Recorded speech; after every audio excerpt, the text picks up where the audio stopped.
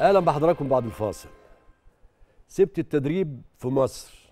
بعد ما الكابتن فؤاد صدقي قال لك أنا خلاص هبطل التدريب وأبعد خالص عن التدريب وفي نفس الوقت ده بالأخص جالك عقد في قطر عشان تعمل إنجازات تكمل في نادي الريان ونادي النهضة اللي أنت عملت بيهم نهضة وكسبت دوري عام كده ودوري عام ووصلت النهائي كأس الأمير. و وانت في قطر عملت فرقة سموها منتخب العرب اللي إحنا كلنا بنأمل في الفترة دي بالذات يبقى في تعاون بين الدول العربية كلها بينها وبين بعض ويبقى في حاجة بتمثل العرب كلها حتى في كل في, في كل البطولات. هل انت سبت التدريب في مصر بعد ما عملتوا المقاولين العرب ووصلتوا بيه لإفريقيا ووصلتوا بيه لدوري العام وكأس مصر وعملتوا فيه حاجة ما فيش بعد كده؟ هل مجرد ما كابتن فؤاد صدقي انت سبت عشان كابتن فؤاد صدقي قال لك خلاص أنا مش هشتغل في مصر ولا انت كان جالك عقد وقلت لا أنا هطلع؟ هو الأول الكابتن فؤاد صدقي لما قال لي أنا همشي آه كان في حاجتين. آه. الحاجة الأولانية إن إحنا أنا كنت منتدب من الشرطة المقاولين. شركة مقاولين العرب. آه. كابتن إبراهيم الوحش كان ساب شغله وبقى موظف في شركة مقاولين العرب. فاحنا الاثنين عرفنا الكلام ده. امم فأنا قلت لكابتن فؤاد أنا أنا دلوقتي مش هقدر أسيب المقاولين العرب على طول كده لأن عيب قوي في حقنا إن إحنا مرة واحدة يتقال إن إحنا المنظومة. كلها ممكن تقع. تقع. فإحنا هنستنى أنا والكابتن إبراهيم قلت له أنا هستنى لغاية لما نشوف مين اللي هيجي البديل والكابتن إبراهيم هيستنى معايا برضو علشان هو عارف انه ما يقدرش يمشي لأنه موظف في المقاولين العرب كنت عايزين تسلموا للي بعديكم. للي بعدين. حصل بقى في الفترة دي إن أنا استنيت أنا وإبراهيم ربنا يرحمه كابتن إبراهيم الوحش. وقعدنا بقى مع بعض بقى لغاية لما جه لقينا اللي جاي بعد كده الكابتن محمد عبده صالح الوحش. آه.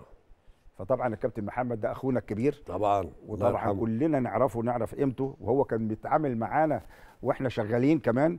فطبعا ساعدنا إن إحنا هنسلم الرسالة أو ال أو البتاع للواحد إحنا واثقين فيه ومطمنين عليه. كان معاه كابتن طه؟ لا ما كانش معاه طه كان لوحده. آه. فجه هو وجانا الكابتن إبراهيم كان موجود معاه آه. واشتغلوا بقى مع مع بعض. مع فرقة المقاولين العرب. وأنا بقى ساعتها لما اطمنت كده خلاص استأذنت من حسين بيه عثمان. قلت له أنا أنا هقعد بس لغاية لما تشوف مين اللي جاي وأنا همشي بعد كده. كويس. وفعلا لما اطمنت رحت واخد بعضي ورايح نادي قطر مع نادي الريان وده كان طبعا بقى يعني تحدي جديد في مجال في التدريب مجال التدريب. مجال التدريب. وخاصة إنك لما تعرف إن نادي الريان في الفترة اللي أنا رايحها دي كان آه، عنده مشاكل. يعني آه، اتوقفوا لعيبته كده. وكان النادي هابط. وحد في محمد السويدي. محمد سويد ده ابني ده حبيبي ده. آه آه ما ده حبيبي محمد. حبيبي ده. فالمهم رحت. بس بقى أنا هنا عايز بس أشكر الكابتن صالح يوسف. كابتن صالح يوسف آه طبعا. صالح يوسف. آه. صالح يوسف ده أنا رحت لقيته بيشتغل في نادي الريان. مدرب حراس مرمى. لا مدرب عادي. آه. بس هو اشتغل معايا. امم وهو بقى كان إيه؟ يعني بقاله فترة معاهم. آه عارف الفرقة. آه آه. فطبعا أنا بحييه لأنه طبعا وقف جنبي وقفة كويسة جدا.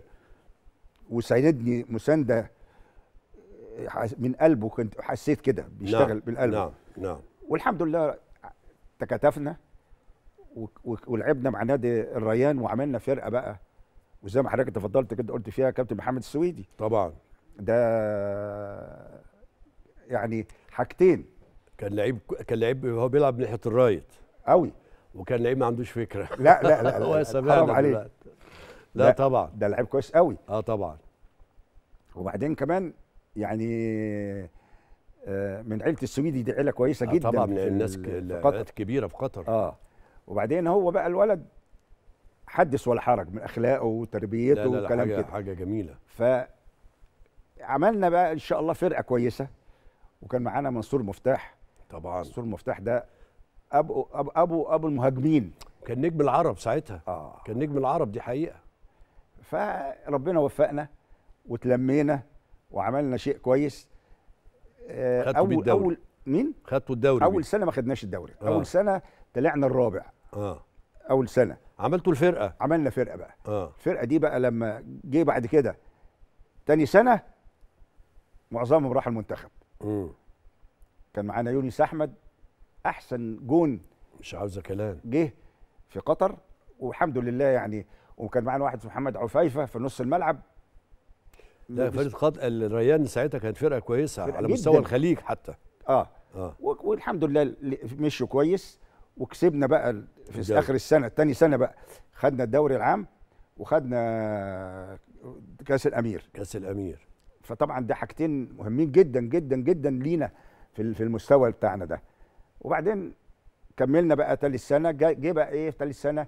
عملوا كأس آه، آه، دوري آه، مجلس التعاون الخليجي. آه. خدوا الأول في كل دو في كل دولة.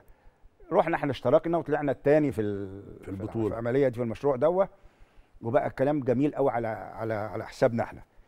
بعد ما خلصنا كده بقى كان لازم أرجع مصر. امم عشان إيه؟ أنا كنت منتدب. بس أنت كنت في ال- بعد نادي الريان كان في النهضه هناك. لا ده بعد وال- كده بقى. بعد ما- أنا جيت هنا الأول. عشان منتخب مصر. جيت هنا الأول. آه. نزلت قعدت مع المنتخب واشتغلت معاهم اللي طلبك الكابتن فؤاد صدقي ها؟ الحمد لله. ربنا يكرمنا إن شاء الله. آه. ووصلنا وبعدين نادي النهضة جوني بقى. بس نادي النهضة عملوا حاجة جميلة قوي آه. إنهم يعني قبل ما يكلموني كانوا كلموا السيد وزير الداخلية. آه رسمي بقى. فبقيتش أنت عندك تقدرش قال لهم ما لا؟ أقدرش قلت له لا. خلاص. فالله يرحمه بقى قال لي تروح ح- حاضر يا فندم. خلاص. خلاص أوامر. رحت بقى نادي النهضة والحمد لله ربنا سهل لنا وطلعنا من دوري الدرجة الثانية لدوري الدرجة الممتازة وبقت فرقة كويسة جدا والحمد لله سيبنا خبر كويس. طيب انت لما رجعت بعد نادي الريان رجعت هنا على منتخب مصر. إن شاء الله. كان الكابتن فؤاد صدقي طلبك ورجعت له على طول. يمكن إحنا الفترة دي كنا سنة 80 تقريبا. 80 80 صح. آه ف ووصلنا لاولمبي جيمز. كان آه. آخر مباراة لينا مع مدغشقر كانت في أيوة. استاد القاهرة وأنا فاكر فتحي مبروك. آه. آه جاب آخر ضربه جزاء آه صح. آه، وهو دخل بيقول لك هضيعها عشان اضيعكم قلت له سجل خلينا نخلص. ووصلنا أولمبي الجيمز لكن كان آه، آه، موت الزعيم آه، السادات سادات. ده طبعا ما رحناش البطولة. كلمني على فترتك مع المنتخب. اتعاملت مع مين من النجوم واللعيبة؟ والله كل النجوم اللي, اللي الإنسان يتمنى يتعامل معاها آه. أنا من حسن حظي اتعاملت معاها. يعني الجيل بتاعك أنت اللي فيه مصطفى عبده وفي محمود الخطيب وفي فتحي مبروك وفي مختار مختار وفي آه، مسعد نور وفي فاروق جعفر. فاروق جعفر وفي آه. حسن شحاتة. حسن شحاتة. كل ال- الجيل الجميل ده أي واحد في العالم يعرف قيمتكم يتمنى إنه يتعامل معاكم نعم. فأنا اتخيل بقى ربنا جاب لي ال- الجيل ده علشان أتعامل معاه وإن أستطيع إن أنا أوصل معاهم لأحسن نتيجة ممكنة ناخدها منهم في في التصفيات. المنتخب. آه. وطبعا شيء جميل قوي أنا أنا فرحان بيه.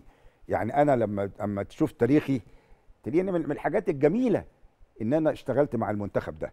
نعم. المج- المجموعة دي. والحمد لله قدرنا نعمل حاجة.